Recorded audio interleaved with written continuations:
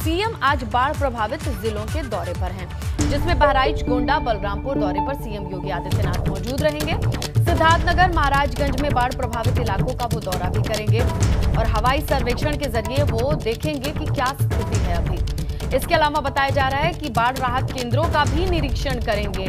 दो दोपहर एक बजे लखनऊ से जिलों के दौरे पर निकल जाएँगे सीएम और इसी के तहत तमाम जगहों पर उनके जाने का कार्यक्रम तय हो चुका है। हवाई सर्वेक्षण है और जो राहत बचाव कार्य जिन केंद्रों से हो रहे हैं, ऑपरेट हो रहे हैं, उनकी क्या स्थिति है, वहाँ पहुंचकर देखेंगे।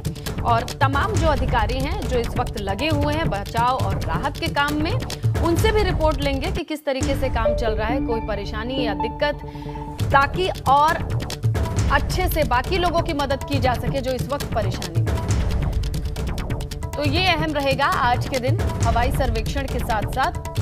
राहत बचाव काम में लगे तमाम अधिकारियों से रिपोर्ट तलब करेंगे।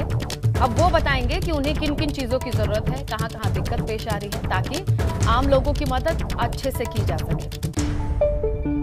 तो ये इस वक्त की बड़ी खबर है। एक बजे बताया जा रहा है कि सीएम निकलेंगे दौरे पर। सारा कार्यक्रम तय है। तय समय के हिसाब से चीज़ें जानकारी मिल रही है कि शुरू होंगे। चलिए रुक करते हैं। हमारे सहयोगी शैलेश अरोड़ा का लखनऊ से वो जुड़ेंगे और उनसे जानकारी लेंगे कि पूर्वांचल में जिस तरीके से बाढ़ का कहर नज़र आ रहा है शैलेश, अब देखिए, ज़्यादातर आज भी ये जानकारी मिल रही है कि नदियाँ उफान पर ही रहने वाली हैं। ऐसे में सीएम का दौरा भी है, तमाम तैयारियाँ भी की होंगी कहाँ कहाँ जाएँगे, क्या कुछ देखेंगे, जानकारी बताइए।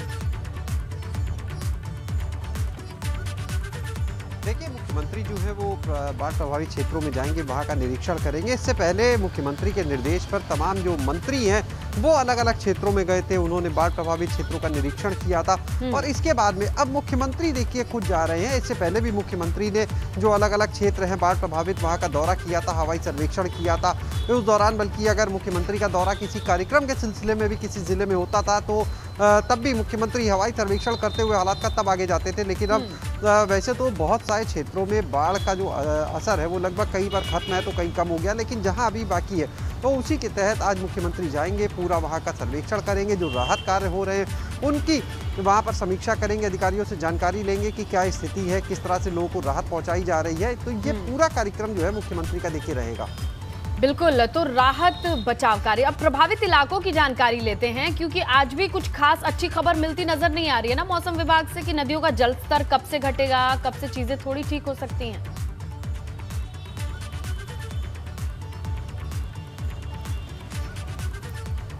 जी शैलेश तो हमारे सहयोगी शैलेश बता रहे थे कि आज तय कार्यक्रम है, जिसके तहत सीएम जाएँगे, बाढ़ प्रभावित इलाकों का सर्वेक्षण करेंगे, लेकिन किस किस जिलों में उनका दौरा रहेगा, क्या टाइम शेड्यूल रहेगा, वो भी हम आपको बताएँ। दोपहर दो बजे का वक्त बताया जा रहा है, बहराइच में पहुँचेंगे, बहराइच में बाढ़ प्रभावित लोगों से मुलाकात करेंगे, राहत सामग्री बांटेंगे।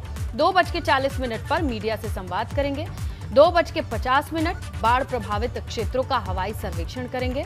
दोपहर तीन बजे बहराइच से गोंडा के लिए रवाना होंगे और साढ़े तीन बजे तरबजगंज गोंडा पहुँचेंगे सीएम। तीन चालीस बजे पर, ये वक्त है जब राहत केंद्र बरौली का वो दौरा करेंगे। बाढ़ प्रभावित लोगों से मुलाकात भी करेंगे और चार बज के पंद्रह मिनट पर गोंडा में मीडिया से बातचीत का कार्यक्रम है।